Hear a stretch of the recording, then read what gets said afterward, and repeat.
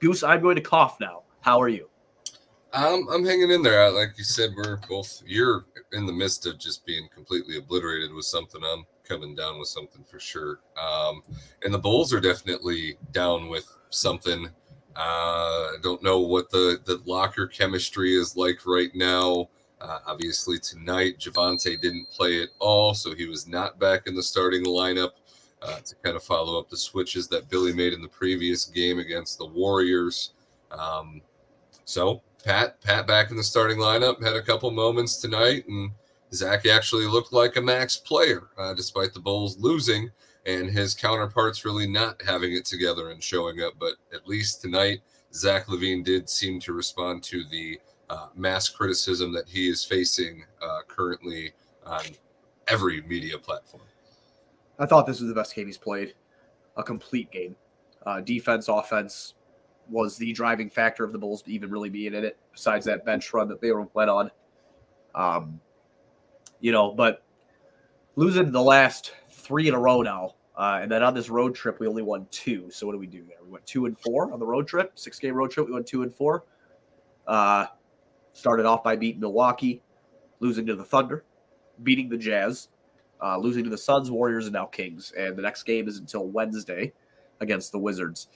Um, you know, there's there's not a lot of talk about besides the starting lineup change right now.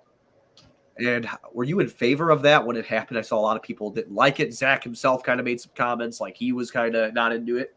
Um, I'm into it. I thought that, you know, and I love Ayo, you know that. Um, I just thought that it was better personnel for the three stars, I guess, uh, that, that surrounded them. You know, that guys that know their role and aren't trying to search for shots or something like that. They just know how to play their role perfectly.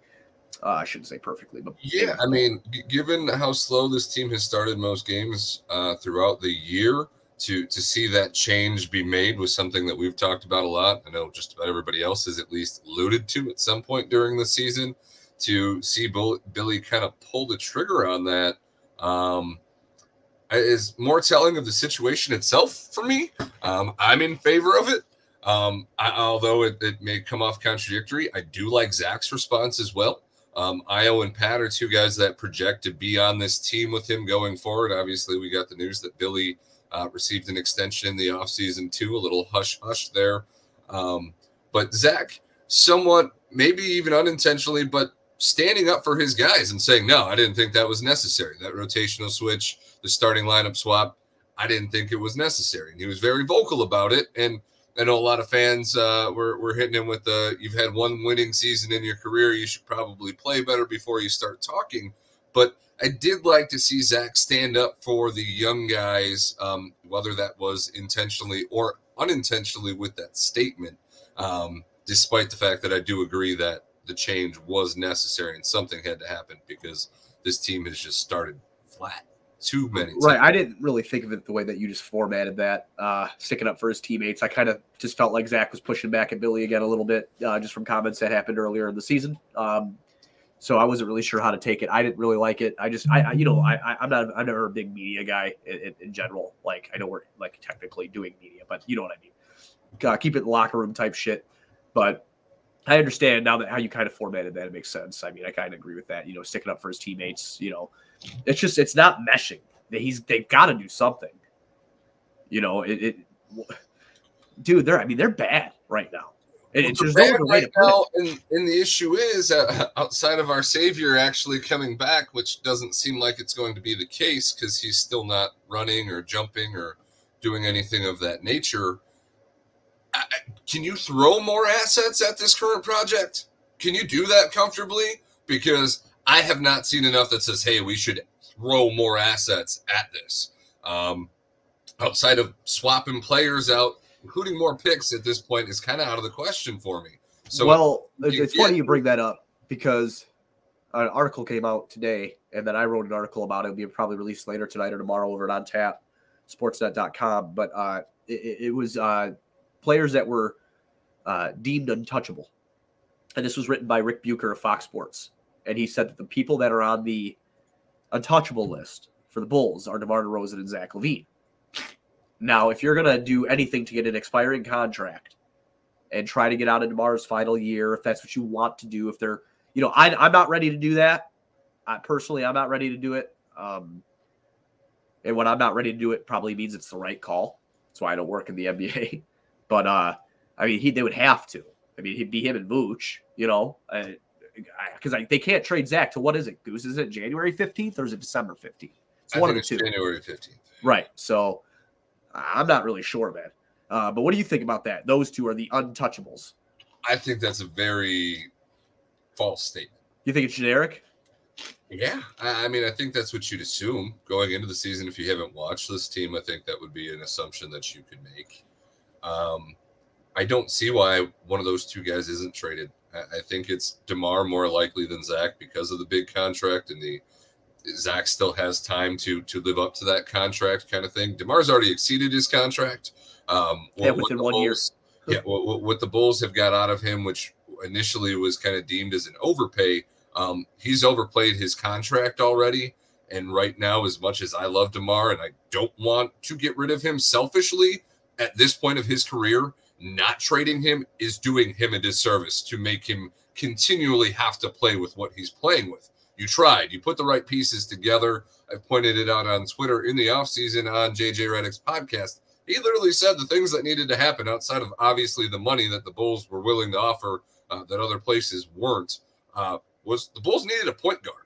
Uh, everyone around the league could look at that roster and go, mm, no point guard, kind of tough to see how things are going to mesh together uh, without that. And he needed a verbal, you know, kind of reassurance from Zach that he did plan on staying long term. So you've got Zach to resign at this point. Um, you've accomplished your goal.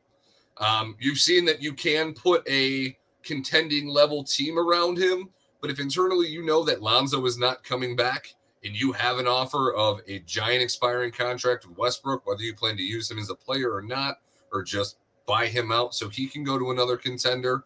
Um, if you can gain assets, cap space, and reload for this offseason uh, and semi tank without tanking, you know, like not full blown tank, but I think Russell Westbrook and Zach LaVine could play some competitive basketball on top of acquiring those assets as well. So I don't think that anyone's untouchable. I think it's harder to get the value for Zach that you need to get for him to feel comfortable moving on from him um, with how he's played so far this season. I don't think he has the value that he used to. But Demar, I, I do not think he's untouchable just because situationally, it's it's the point of his career where this is what's left in the tank, and he shouldn't waste it on a roster like this. How would the spacing look? Because if if he went over to LA, I from what I read, it was a Demar Derozan and Vucevic thing for um for Russ because Russ is making like forty something million. Uh, I think it would have to take those guys. Um, how would that look? Because if I mean, Vooch, not that Vooch spaces the floor great now. He's not terrible, but I mean, he doesn't space the floor great now. I mean, how would that look? I mean, Pat shoots at a really high clip. Uh, I mean, pretty decent clip. Um, but then you'd have Drummond in there. I, I just how does that look? I mean, are you talking about with Westbrook here in Chicago? Yeah, yeah. I could just I mean, similar. I mean, what what do you have right now with Demar? You don't have somebody who spaces the floor. You have somebody that kind of lives in the post, kind of makes Vooch have to live more on the perimeter than being able to linger in uh, where Stacey would like to see him hang out more. Yeah, but um, at least he has that midi. He's like, got that midi, but Westbrook is a drive and kick facilitator. He's a triple double machine. You don't have a point guard right now. At the very right. least, started uh, Russ is still a starting caliber point guard in this league. Um, and next to Zach, you finally have somebody that is worthy to take the ball out of his hands every possession. We saw Zach play a lot of point guard, uh, facilitator kind of role tonight, which wasn't a bad thing. He was somewhat successful in it despite the uh, outcome of the game itself. Um, Zach did well in that role tonight, while the rest of his teammates somewhat struggled. Um, but you, you, would have somebody capable of doing that, as we're now, you know, Ayo shows the, those flashes to where he can do it, and he is that drive and kick facilitator but he's being benched for Alex Caruso, who's just your defensive juggernaut currently. Right, right. Just yeah. because the the energy and putting the ball in Zach's hand is something Billy's more comfortable